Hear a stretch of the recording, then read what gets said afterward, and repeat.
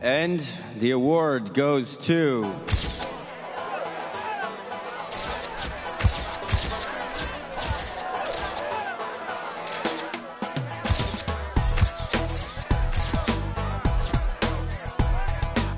You're not getting an award. I'm sorry. I think there's been a misunderstanding. When What? I faxed you this morning, it was to invite you to host the awards along with me. Here in this tiny apartment? No, no, no, no, no. At the Guggenheim Museum.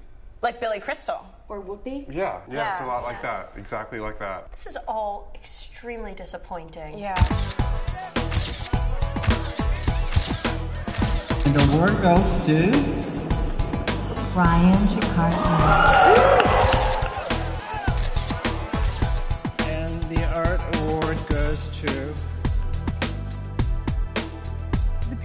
Generation, 1974 to 19. Martin Kippenberger.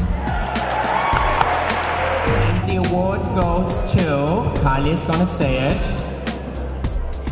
Jeff Koons. Versailles, Château de Versailles. the award goes, Goes to, to Who's, afraid, of, Tony Jack- Shafrazi? Jerry Saltz. So, congratulations. Thank you, Bettina.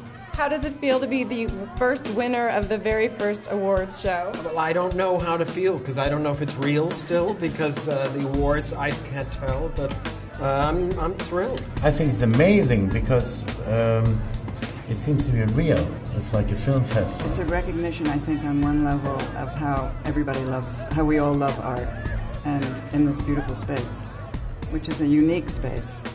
And also, it's um, it's a new experience for the art world. I wonder if it will go on year after year. So it's with the greatest pleasure I invite Kasper König to collect his Lifetime Achievement Award.